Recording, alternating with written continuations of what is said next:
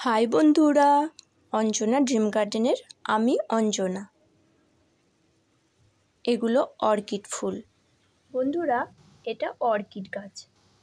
আমরা দেখেছি অর্কিড গাছকে এইভাবে ঝুলিয়ে রাখতে। মাটি, কোকোপিট বা ভার্মি, যাই বলুন না কেন, আমরা যেই মিডিয়াতে গাছ বসাতে অভ্যস্ত, অর্কিড গাছ কিন্তু সেই সব মিডিয়ায় হয় না। এরা প্রকৃতি থেকেই জল এবং খাদ্য সংগ্রহ করতে পারে।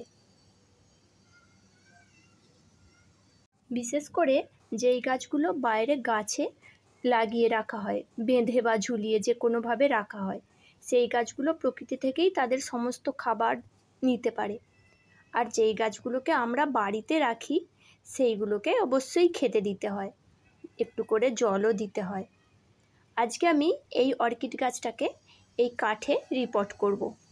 আমি এটা কাঠে ঝুলিয়ে দেব।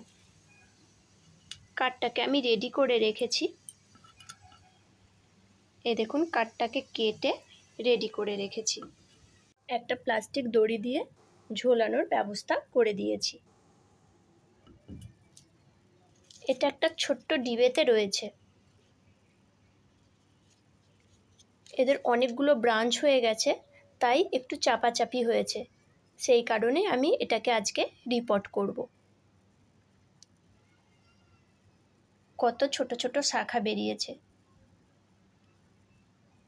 শাখার গোড়া থেকে আবার শেকড়ও বেরিয়েছে।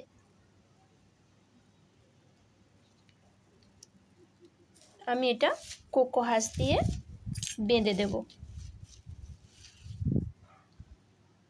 ডিবে থেকে এখন গাছগুলোকে বার করে নেওয়ার চেষ্টা করছি।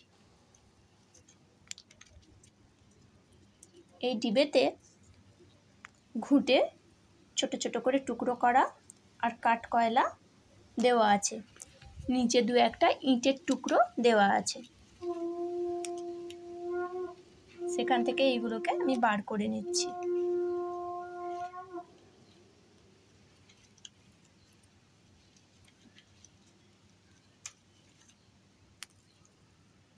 দেখুন বন্ধুরা, ভেতরে শেকড় একদম এঁটে গেছে। গাছটাকে আমি বার করে নিয়েছি।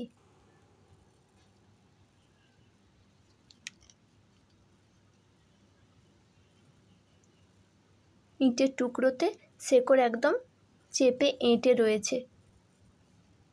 এগুলো সব আস্তে আস্তে খুলে নেব। এইভাবে আমি গাছটাকে বেঁধে দেব।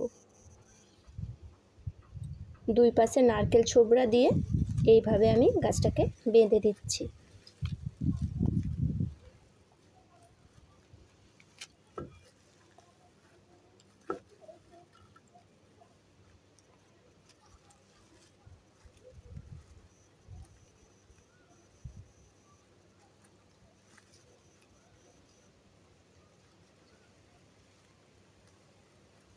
এখানে আমি সুতুলি দড়ি ব্যবহার করেছি।